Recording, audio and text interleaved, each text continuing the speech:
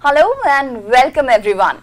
This is NCERT's live phone-in program and you are enjoying this program on NCERT's official YouTube channel which is NCRT Official.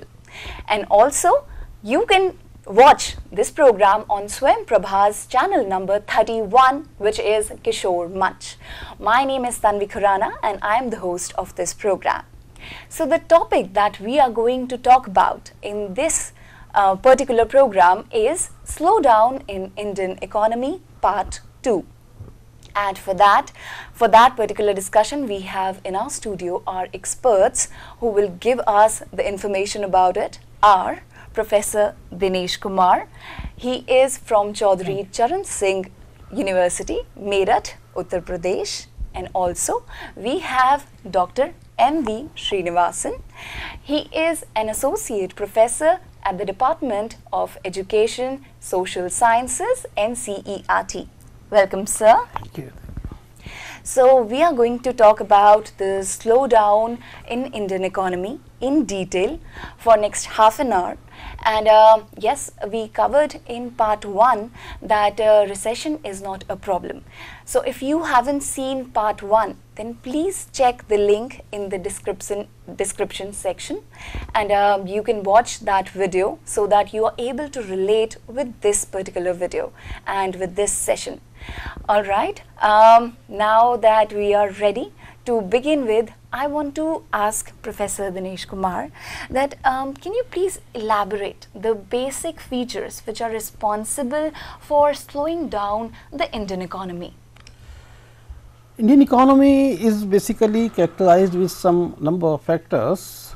As far as slowdown is concerned, there are number of factors which are internally possible, internally uh, responsible. There are other factors which are uh, globally uh, responsible for this so called slowdown. Okay. Uh, when we say from the global concern, the trade war between US and China is the major content to discuss this issue. As far as uh, internally, we can say that this issue of slowdown is directly related with the issue of uh, unemployment, with the issue of labor reforms, with the issue of unemployment in unorganized sector from that point of view. And one thing that should be added here that structural reforms including financial and fiscal reforms are the major factors which are responsible for this so called I am saying so called slowdown. Okay. Sir, would you like to add something? Yeah, see if you look at the uh, slowdown of Indian economy, I think we have to get some more data, some more statistics uh, to come to a conclusion that like yes, Indian economy is having a slowdown. And if you look at the what kind of what are the factors, in my view, the technology, the way the technology, technology innovations are taking place in the last uh, since global um, uh, crisis 2008, and uh, this has led to almost like a jobless um, growth you have a very one of the India is one of the fastest growing economy in the world, yet we are not able to generate sufficient number of jobs.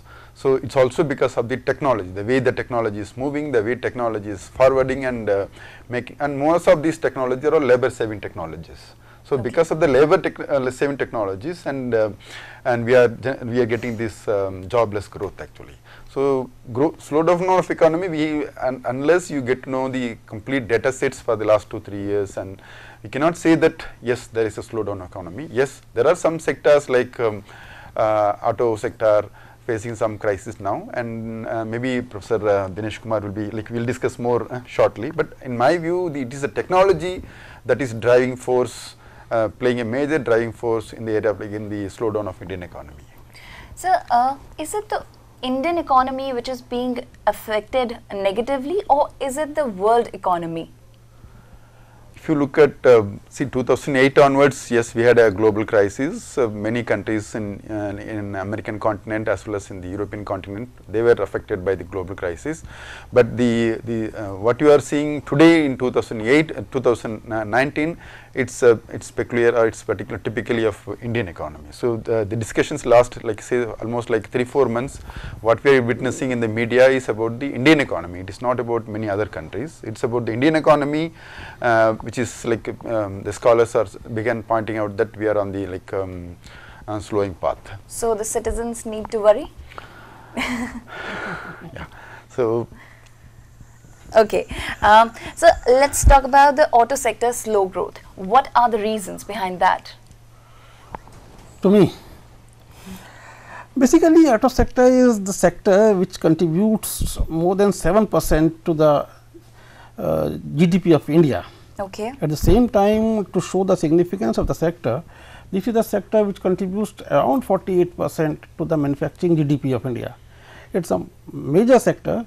If there is any problem with this sector, then the citizen has to buy, no doubt. But with this sector, there are number of experiments since inception and the slowdown in this sector is directly related with the number of issues happening around the globe as well as within India.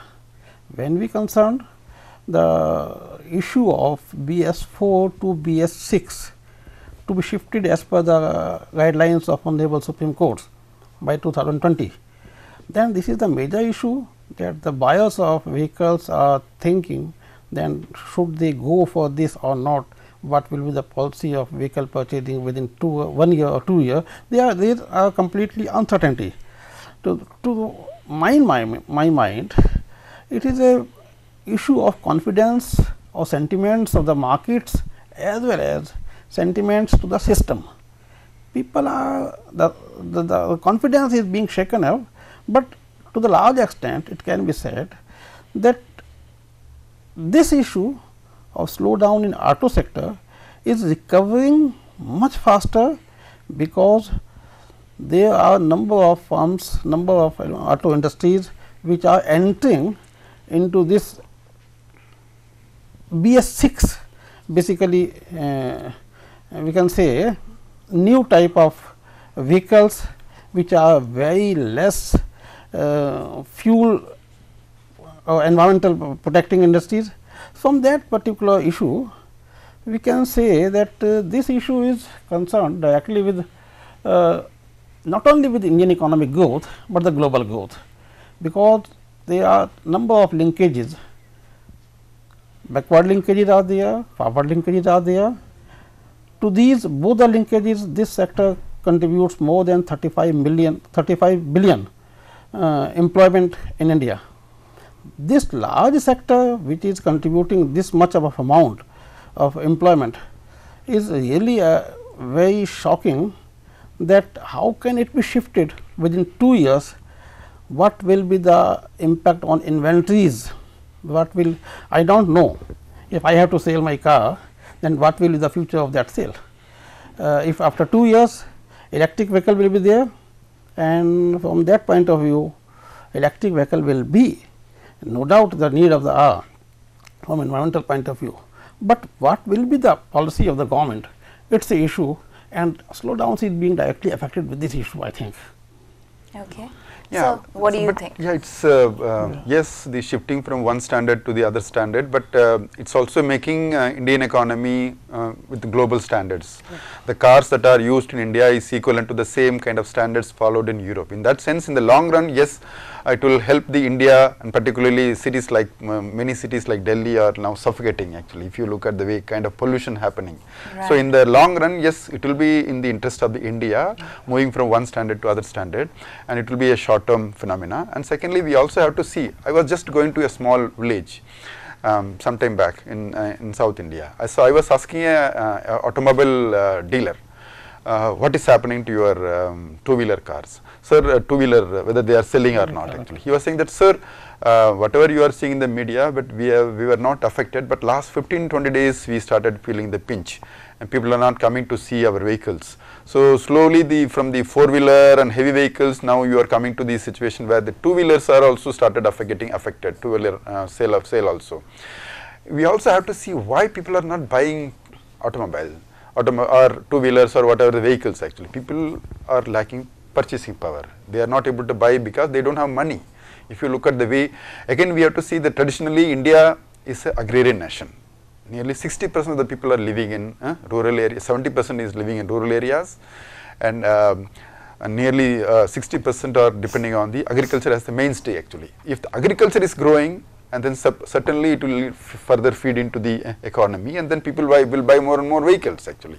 So if the agriculture is not growing and the if industry also slowing down, obviously like uh, the automobile industry or if you look at the vehicles, two wheelers, they are basically the feeder industry. It's a service sector. uh, it is providing transport facility which is part of the service sector actually. So unless the agriculture sector is picking up, unless people develop the purchasing power, people get more and more uh, uh, incomes, it's difficult to drive the automobile industry. So it's possible that like see we have been uh, many many in the uh, sir was pointing out, Professor uh, Dinesh Kumar was pointing out about the the arrival of globalization.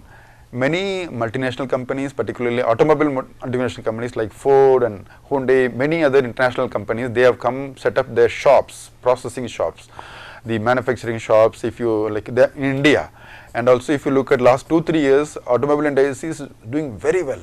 And uh, they, they were, for example, I can quote you some, an example uh, from the statistics. Say when the Ford India came within three four years, they were able to produce say about um, say. Uh, 20,000 cars per year. So last two, two, two years, in the last two, three years, they were able to sell almost 2 lakh cars.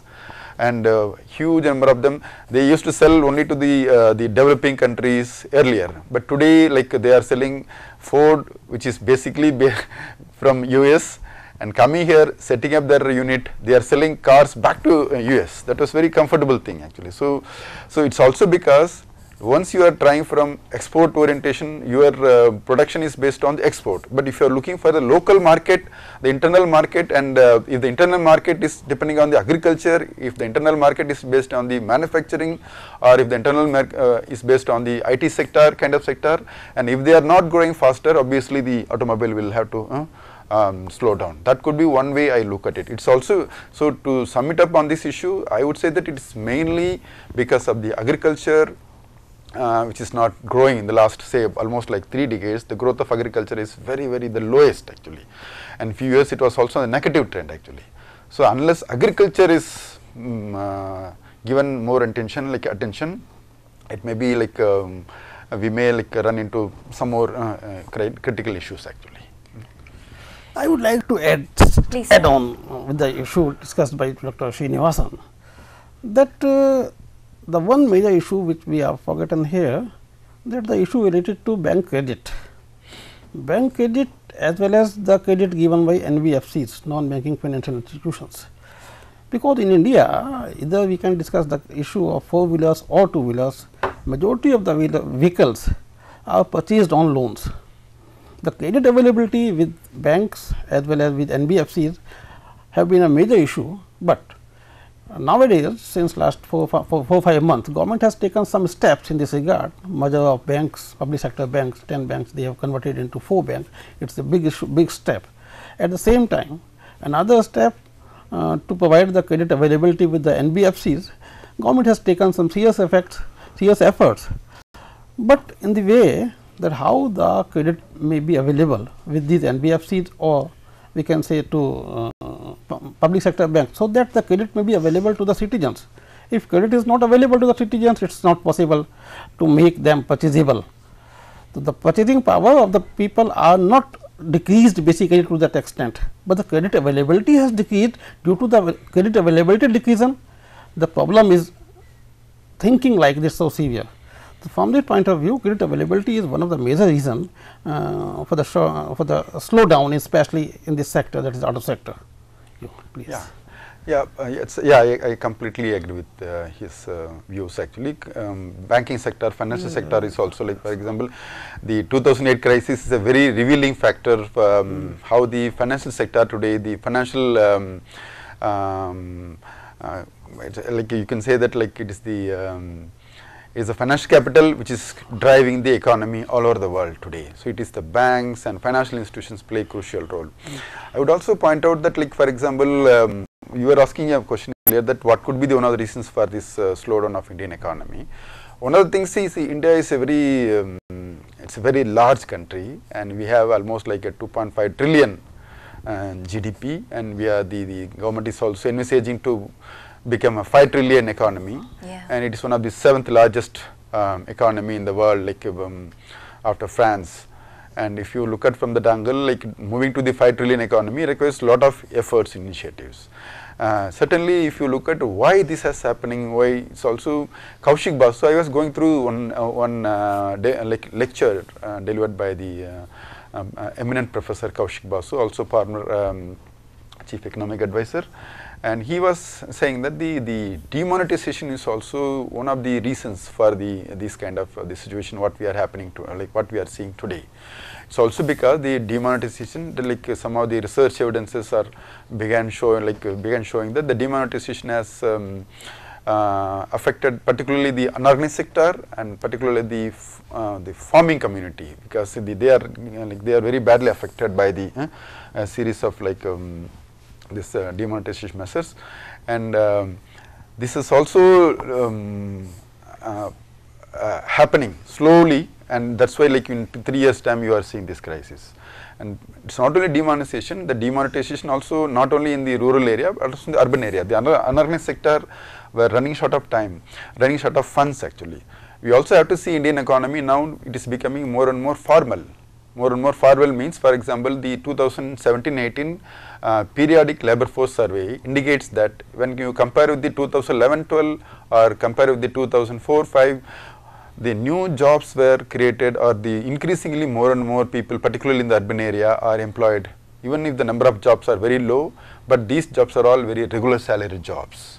And the, the most affected may be the uh, educated female um, workforce but whatever the new jobs are increasingly there is a kind of formalization takes place the demand of the, the post demonetization and the use of more and more plastic cards like credit cards, ATM uh, and so on, more and more transaction happening in the formal sector. So, Indian economy also moving a major, uh, uh, moving to a new phenomena where more and more activities are being documented, recorded, digitally takes place actually. See if you are, for example, if you are uh, buying a property uh, beyond a limit, your transaction should be in the digital and you have to most of the transactions began uh, recorded I want actually. you I want yeah. to cut you here.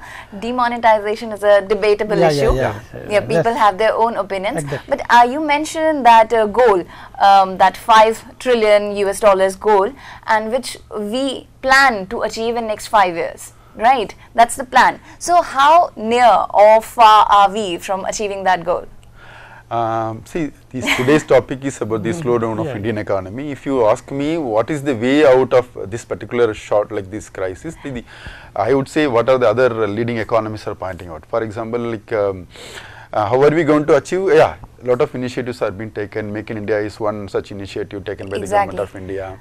If you look at the infrastructure that are being, for example, like um, the roads, railways, whatever they happening in the um, energy sector, in the area of solar. Uh. So, these are the new initiatives and we are hoping that the, we are able to reach 5 trillion economy. But if you look at how this particularly what you are seeing the last two years, the two year, um, one way like for example recently we have got um, uh, and uh, Abhijit, Professor uh, Abhijit um, Banerjee has got a Nobel Prize. Yeah. When he gave an interview, he also indicated uh, two things actually. For example, he was pointing out that the uh, helping the like um, rural economy, particularly the informal sector, say for example the Manrega. Yeah. He saying that the government has to pump in more and more money into the Manrega programs. He's also viewing that the farmers need to be supported uh, with the minimum assurance. It is not only the question of the election manifesto of many uh, political parties, it's also been suggested by the economists that now the farmers need support actually. If you look at the way like the um, farmer suicides happening in the rural economy and it is not stopping anymore. So, so that's a suggestion given by the yeah. uh, Nobel Prize winner. So he's suggesting that if you want to pick up the like revive the economy, these two measures are supporting the farmers, the financial support to the farmers, and um, and the um, say the Manrega supporting the Manrega are the two measures to revive it actually. And uh, the corporate sector maybe Professor Dinesh Kumar would, should be able to uh, give more ideas on corporate taxes and. Please, sir. corporate tax cut. How is this related to the slowing down of Indian economy? Corporate tax cut is a big issue, it is a basically bold issue and it will impact. It will impact in the long run. It is not the issue that automatically it can impact, but it will impact with the slow process, slow steps are there. Corporate tax cut, the tax cuts from corporate sectors are reduced from around 35 percent to 25 percent and these it means that uh, uh, at the moment we are taking out of 100 we the people are taking home uh, 65 rupees and the corporate industrialists, industrialists are taking 75 rupees out of 100. But even then there is a issue related that how the sentiments or the confidence can be emerged can be re, uh, revived in the economy.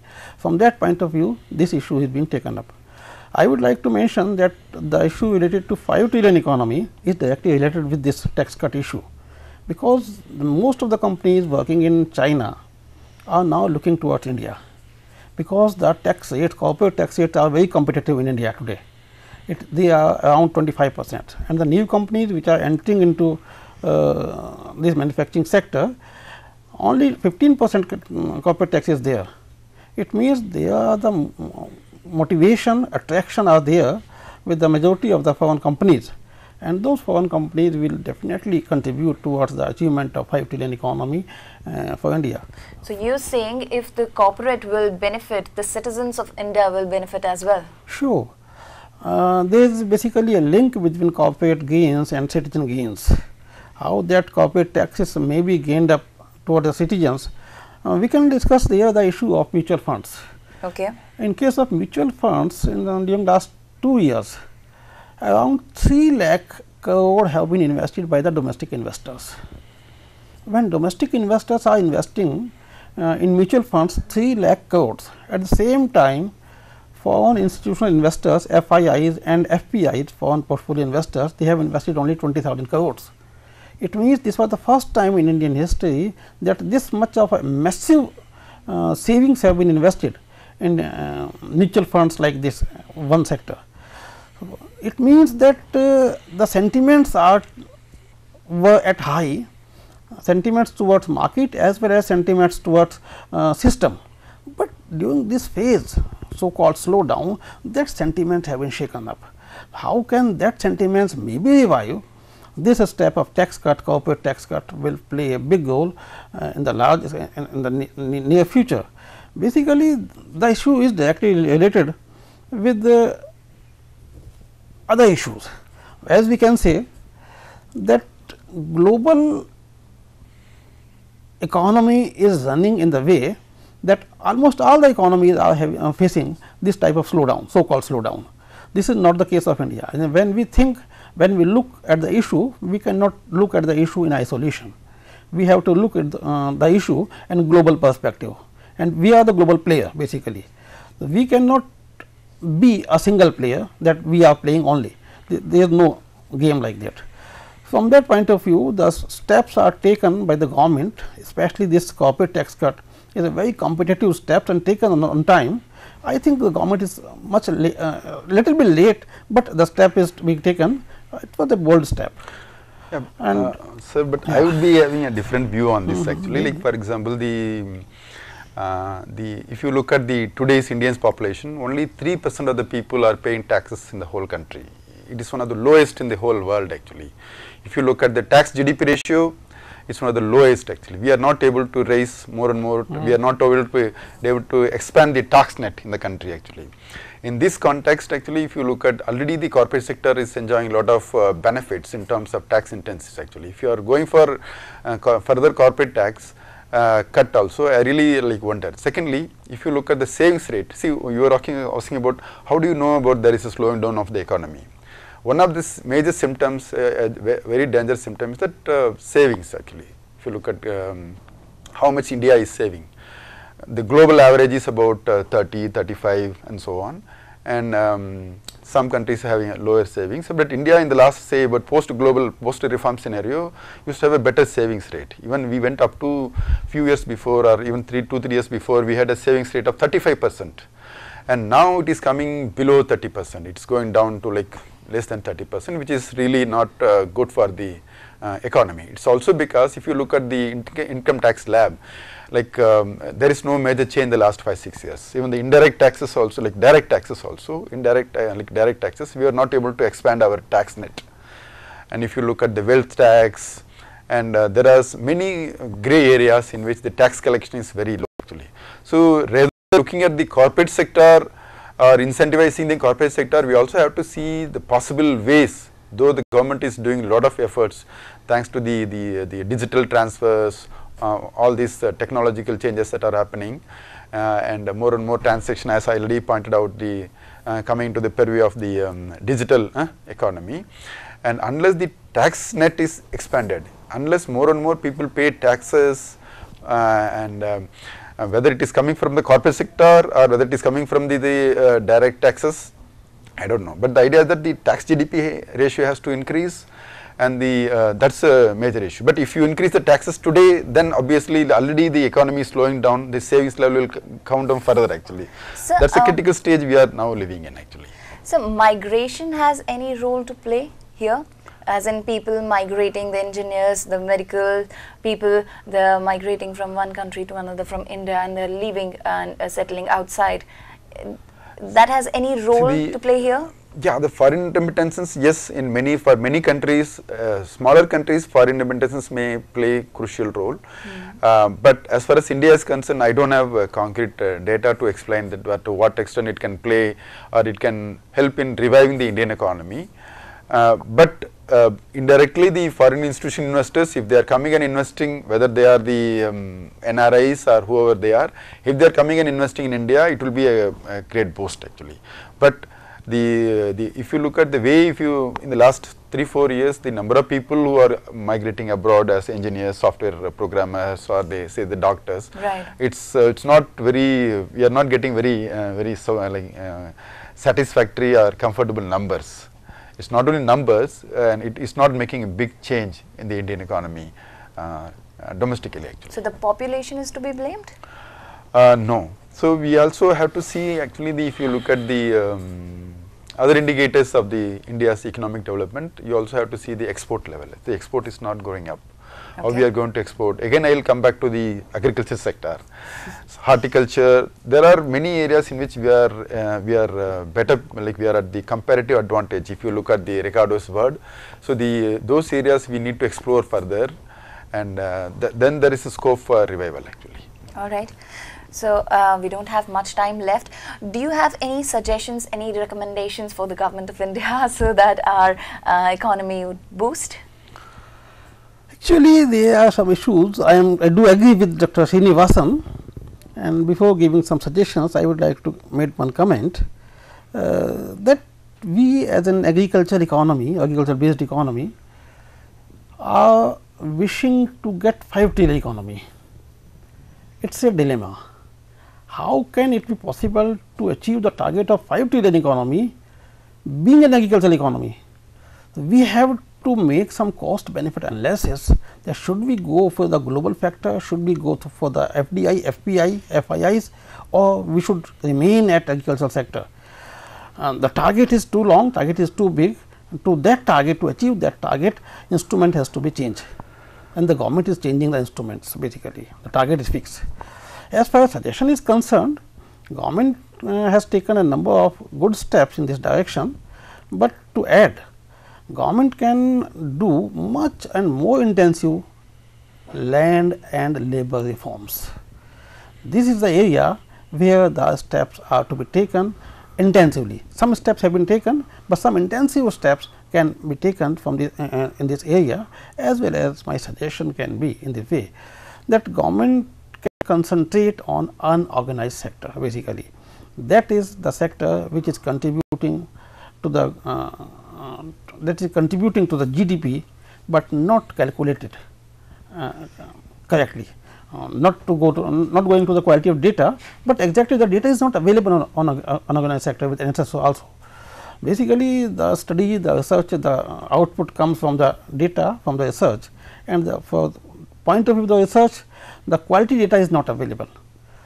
How to concentrate on this data that is uh, of uh, unorganized sector is maybe a suggestion from the point of I also agree with him completely that the government now has to focus on the uh, informal unorganized sector. Government also again I would like to point out that the um, focus on the infrastructure building and agriculture sector and mainly the, the, the, the rural folk Okay, so maybe building infrastructure in the area of health, education, roads would, would go in a long way to make our Indian economy highly sustainable actually.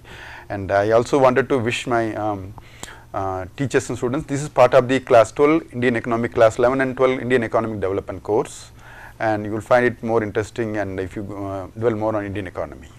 Thank you so much, sir, for being here, for talking to us, and uh, for being a part of this very interesting discussion and for imparting the knowledge onto me and to our viewers. All right, we are wrapping up this session right here. If you have any suggestions, any comments, any good suggestions, please send it to us on our WhatsApp number. The number is 8076754446. Please note it down very carefully. And uh, yes, if you can send us your selfie along with your questions, that's an interesting idea. So you can send us the selfie with your questions and uh, we will definitely answer those questions. Apart from that, you can also mail us your questions and the email ID is ciet.kishoremanch at the rate gmail.com. Alright, we'll be waiting for uh, your suggestions. Thank you so much and uh, goodbye. Have a great day.